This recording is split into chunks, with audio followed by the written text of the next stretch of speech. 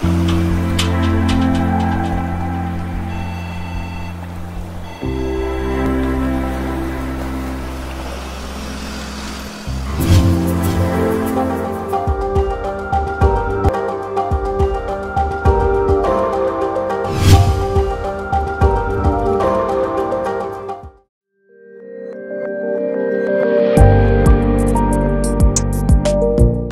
ውድ የ STEM የቴሌቪዥን ፕሮግራም ተመልካቾቻችን እንደምን ሰነበታችሁ? ዛሬ እንደተለመደው ትምህርታዊ ፕሮግራም ወደ እናንተ ለማድረስ እዚህ ተገኝተናል። ፕሮግራሙን እየመራን አብረናችሁ የምንቆየውን የተማሪ ቤዛዊት ተስፋዬ እና እኔ ሄርሜላ ታደሰ በጋራ በመሆን ነው። ዛሬ እንደምታዩት chemistry lab ውስጥ ተገኝተናል። ሁለት ሙከራዎችን እናሳያቸዋለን። የመጀመሪያው ሙከራ preparation of alkene ይባላል። ሁለተኛው ደግሞ acid base titration ነው። ወደ ሙከራው እንግባ፣ አብራችሁን ቆዩ።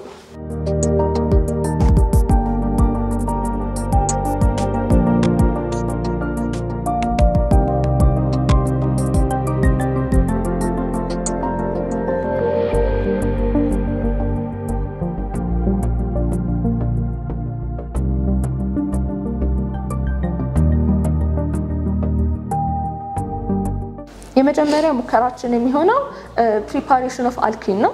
preparation of alkene ላይ የሚያስፈልጉን ነገሮች የመጀመሪያው አልኮል ነው፣ 70 percent አልኮል ይዘናል። ሁለተኛው sulfuric acid ነው፣ 98 percent sulfuric acid አለ። አልኮሆሉን በ sulfuric acid heat ስናደርገው ethene ኑ ይወጣል ማለት ነው። አልኮሆሉ ኢታኖል ነው ያለው። ስለዚህ prepare የሚደረገው alkene ethene ነው የሚሆነው ማለት ነው። ስለዚህ አልኮሆሉን እንከተው። አልኮሆሉን conical flask ውስጥ ነው የምንከተው። ከዛም heat እናደርገዋለን። sulfuric acid ን ከመክተታችን በፊት heat እናደርገዋለን። አሁን እንደምታዩት እዚህ ጋር 98 percent sulfuric acid አለን። በጣም strong ነው። ስለዚህ ጥንቃቄ ማድረግ አለብን ማለት ነው። እዚህ ጋር ደግሞ ያዘጋጀነው ውሃ አለ እና ይሄኛው gas collector ይባላል። ውሃውን የተፈለገበት ምክንያት ጋዝ ምንም አይነት ጋዝ እዚህ ውስጥ መግባት የለበትም። ethene ን ሰብስቦ መያዝ ስላለበት ማለት ነው። ስለዚህ heat እስኪያደርግ ድረስ ትንሽ እንጠብቃለን።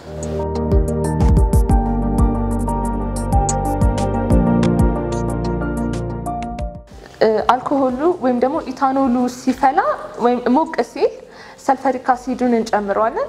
ያ sulfuric acid አብሮ ተቀላቅሎ ይፈላል ማለት ነው። ሲፈላ ethene ኑ ይሄድና እዚህ ጋር ያዘጋጀነው አለ ጋዝ ኮሌክተር ይባላል እና ውሃ ሞልተን ግጥም አድርገን ሞልተን ገልብጠ ነው አስቀምጠነዋል።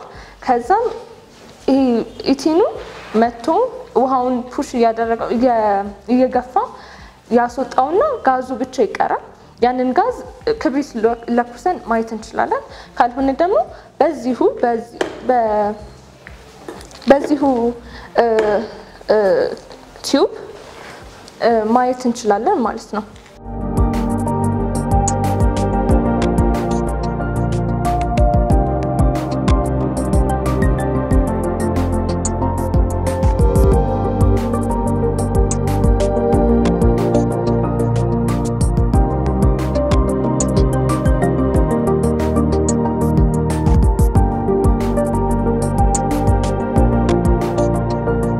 በሁለተኛ ደረጃ የምናየው በተግባር የምናየው ትምህርት ደግሞ acid base titration እንለዋለን። acid base titration ምንድን ነው ስንል አንድ ክምችቱና መጠኑ የሚታወቅን ውህደት በመጠቀም ሌላ መጠኑ የሚታወቅ ግን ክምችቱ የማይታወቅን ውህደት መጠን ክምችት የምናውቅበት መንገድ ነው ማለት ነው። ይህ ማለት ደግሞ አንድ volume ና concentration ኡን የምናውቀውን solution በመጠቀም ሌላ concentration ኡን የማናውቀው ግን volume ን የምናውቅበትን solution concentration የምናውቅበት መንገድ ነው ማለት ነው። ስለዚህ ይሄን ለማድረግ የምንጠቀማቸው እቃዎች አሉ። በመጀመሪያ ግን አሁን እዚህ ውስጥ ያከተትነው standard solution ይባላል። ይሄ standard solution የምንለው volume concentration ኡ እየታወቀ ነው። ስለዚህ ይሄንን በመጠቀም volume ን የምናውቀው concentration ኡን የማናውቀውን solution concentration የምናገኝበት መንገድ ነው። ስለዚህ ያ concentration ኡ የማናውቀው solution ደግሞ ያደረግነው እዚህ ጋር የምናየው ፈሳሽ ሳሙና ነው። ፈሳሽ ሳሙና ከውሃ ጋር በመቀላቀል ያለው solution ነው ማለት ነው። ስለዚህ እሱን እዚህ ጋር ቀላቅለነዋል። እና እዚህ ጋር የምናገኘው አሁን ይሄኛው አሲድ ነው፣ hydrochloric acid ነው። ከዛ እዚህ ጋር ግን የጨመርነው base ይሄኛው ፈሳሽ ሳሙና base አለው ብለን ነው። ግን ይሄ ፈሳሽ ሳሙና base እንዳለው በምን ማረጋገጥ እንችላለን? ስለዚህ እሱን ለማረጋገጥ ሁለት መንገዶች ተጠቅመናል ማለት ነው። ይሄ እዚህ ጋር የምናየው phenolphthalein ይባላል።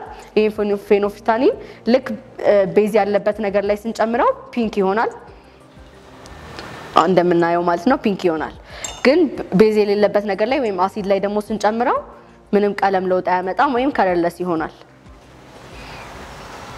colorless ይሆናል ማለት ነው።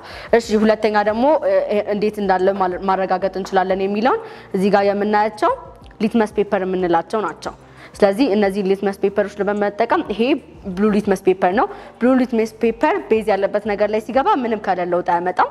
ግን አሲድ ያለበት ነገር ላይ ሲገባ ወደ ቀይ ይቀየራል፣ ቀይ ይሆናል። እዚህ ጋር ደግሞ የምናየው red litmus paper ነው። red litmus paper ን ደግሞ አሲድ ያለበት ነገር ላይ ስንከተው ምንም ቀለም ለውጥ አያመጣም። ግን base ያለበት ነገር ላይ ስንከተው ወደ blue color ወይም ሰማያዊ color ተቀይሮ ይወጣል ማለት ነው።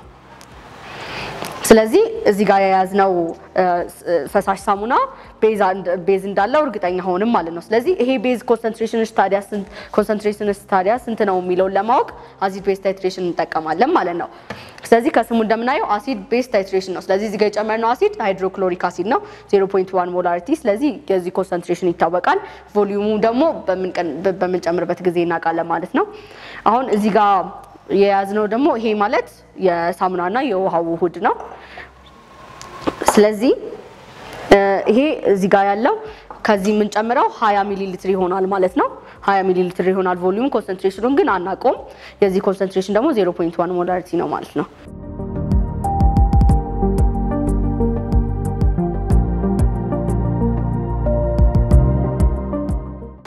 ከዛ ግን መጀመሪያ አሁን እንዴት ታዲያ volume ኡን እናውቃለን ለሚለው አሁን ቅድም እንዳልኩት base ላይ phenolphthalein በምንጨምርበት ጊዜ color ኡ ወደ pink ይቀየራል። ስለዚህ ሁለት drop phenolphthalein እንጨምራለን ማለት ነው። አንድ ሁለት። ስለዚህ ይኸው pink ሆኖልናል። አሁን ይሄ pink የሆነው color ኡ colorless እስኪሆን ድረስ ምክንያቱም phenolphthalein ከ acid ጋር ሲቀላቀል colorless እንደሚሆን ቅድም አይተናል። ስለዚህ color ኡ እስኪጠፋ ድረስ ወይም ደግሞ colorless እስኪሆን ድረስ ይህንን እንጨምረዋለን ማለት ነው ቀስ እያለን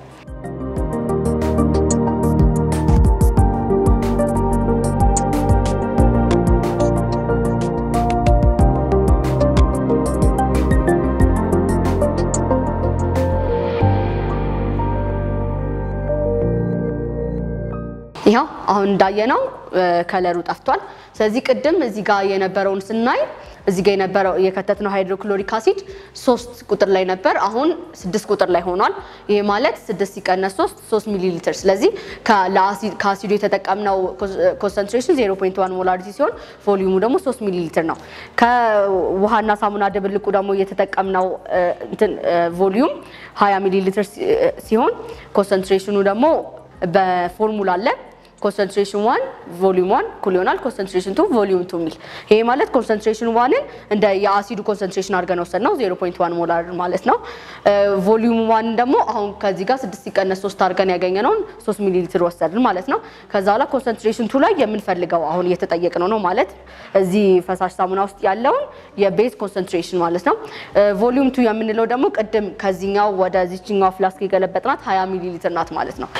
ከዛ concentration ኡን በመጠቀም ደግሞ የዚህ ፈሳሽ ሳሙና pH ስንት ነው የሚለውን ማወቅ እንችላለን። ይህ ማለት pOH እኩል ይሆናል negative logarithm of concentration hydroxide concentration ማለት ነው። ስለዚህ በዚህ hydroxide concentration ኡን ቅድም እንዳልኩ 0.3 ሲካፈል 20 በሚለው አግኝተናል። ስለዚህ እሱን በመክተት የእሱን negative logarithm በማድረግ pOH ኡን ማግኘት እንችላለን። pOH ኡን አገኘን ማለት ግን pH ኡን አገኘን ማለት አይደለም። pH ለማግኘት pOH ሲደመር pH እኩል ይሆናል 14 የሚል ፎርሙላ አለ። በሱ ውስጥ pOH ኡን በመክተት pH ኡን ማግኘት እንችላለን። ስለዚህ የዚህ ሳሙና pH ስንት እንደሆነ በዛ ማወቅ ይቻላል ማለት ነው።